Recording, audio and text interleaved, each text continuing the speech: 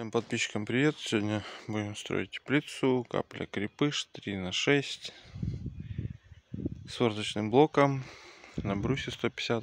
Пока приехали, разложились, начинаем работать.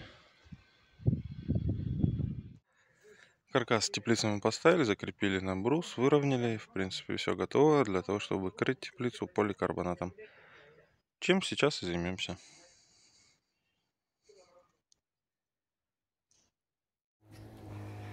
Произведен монтаж.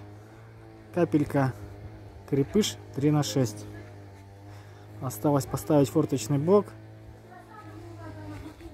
на 150 брусе. Все прокручено уже.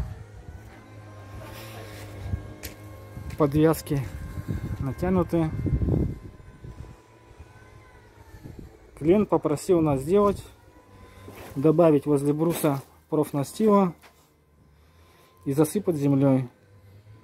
Посмотрим, что из этого выйдет.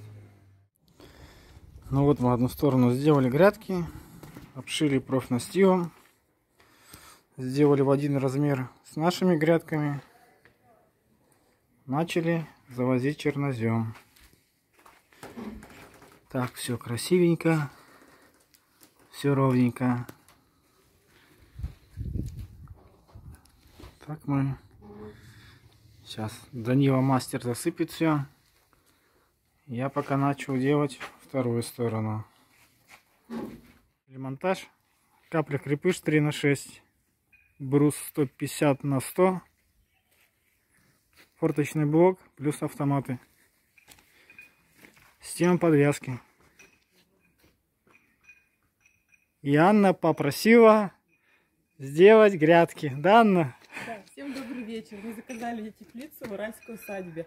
А, очень довольны качеством. Рекомендуем. Грядки а, великолепные. Теплица тоже прекрасное качество, высокого уровня. Поэтому всем рекомендуем. Большое спасибо Уральской усадьбе.